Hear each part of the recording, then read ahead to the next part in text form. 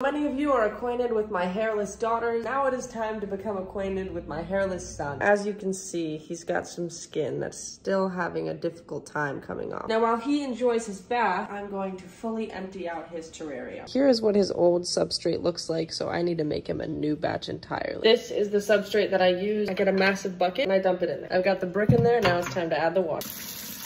Making a mess, David. You, David. And this is how I find out there's a hole at the bottom of this bucket. David escaped his bath, and now he thinks he's a banana. I got the majority of the substrate out of here, so now I'm gonna start to wipe this down. We have 12 seconds left for the substrate timer, and David still thinks he's a fruit like his mom. I've had a method for this 0% of the time, and we're not starting today. We should have started today. His favorite cave, water bowl, little plant he tried to eat once because a mouse got stuck in it, and a piece of bark. And there we have it. What a handsome little guy.